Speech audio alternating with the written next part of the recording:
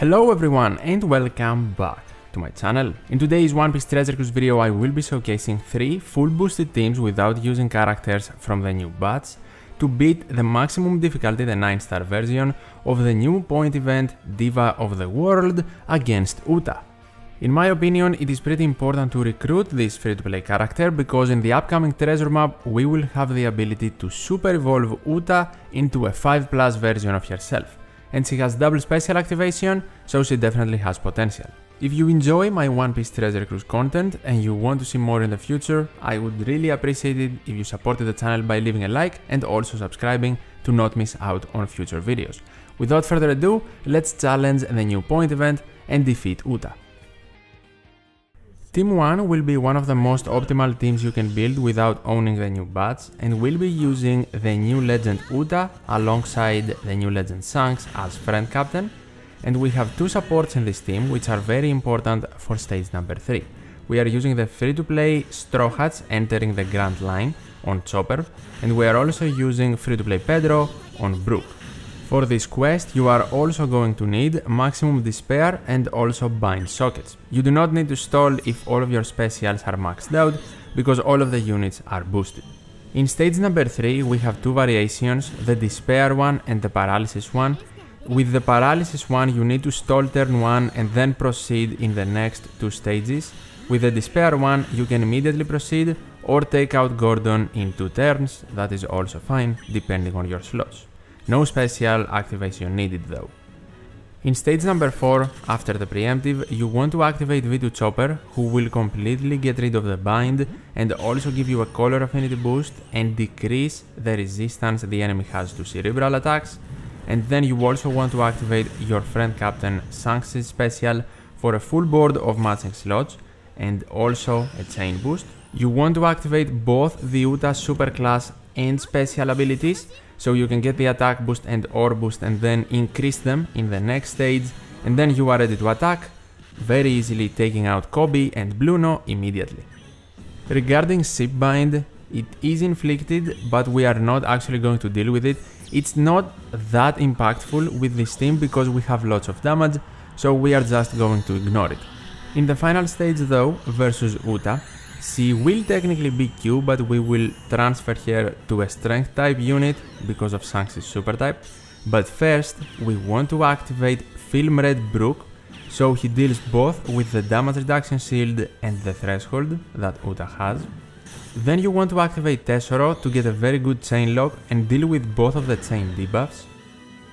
And then you want to activate Shiki for a full board of guaranteed matching slots and of course, finally, the super type ability of Shanks, our friend captain, to turn the enemy Uta into a strength unit and super easily defeat her by attacking only with our Q units. Team number 2 will be using the newly super evolved 6 plus Shiki legend with a friend captain Super Sugofest Shanks. For this team, we do not need to stall once again, but the supports are different we are going to use V16 plus Rayleigh on our Film Red free-to-play Luffy to reduce paralysis if it appears in stage 3 and also we are going to use V16 plus Sanji on Nami to get a chain boost and have an easier time in stage number 4. This time in stage number 3 though, if Despair appears, we do not have a problem and we can proceed immediately because of Shiki's captain ability. If Paralysis appears, then Rayleigh support will reduce it, then we stall one turn and turn 2 we can take out Gordon to proceed to the final stage. If you want to farm some matching slots on your Q units before entering stage number 3, feel free to do that. Now in stage number 4, after the preemptive, of course we need maximum bind sockets, we are going to activate Stampede Rare Recruit Nami to remove bind completely. Sanji will activate giving us a chain boost then we activate our Captain Shiki for a full board of matching slots and also an orb boost. And then we want to activate Film Red Luffy who will give us a universal 2 times attack boost. Now you want to start your attacking chain with Nami who is not boosted properly and then with everyone else to defeat Koby and Blueno in one turn. Without Sanji I am guessing the damage output will depend more on your cotton candy and also on the stat boosting supports you have on your units. For the final stage against Uta now, we have the same combo of Film Red Rare Recruit Brook and Tesoro, and after the preemptive is complete, you want to activate Brook first, and this time he won't remove block slots because we do not have an int captain, but it does not matter anyway, our friend captain can do that. Brook though will completely remove the damage reduction and also the threshold Uta has, and then you want to activate Tesoro to get a chain lock and deal with both of the chain debuffs, and finally, you want to activate the special and also super type of our friend captain. He will give us a color affinity boost, a full board of matching slots, and his super type will turn Uta into a strength unit. Then you are ready to attack based on color advantage and defeat Uta.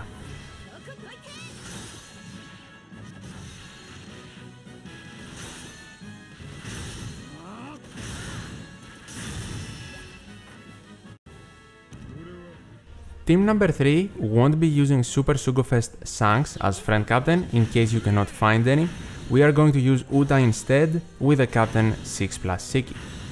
For this team, we are also going to use Halloween Ace Legend support on Film Red Free to Play Luffy so we can reduce the bind in stage 4 and we are also going to use a matching slot support on Shiki specifically. I am using Kizuna Margaret, you can use whichever matching slot support you want so he can have a guaranteed matching slot. Stage number 3 is no problem, if we are paralyzed Uta removes it, if we are despaired Shiki removes it, so activate Film Red Luffy and super easily take out Gordon immediately to proceed to stage number 4.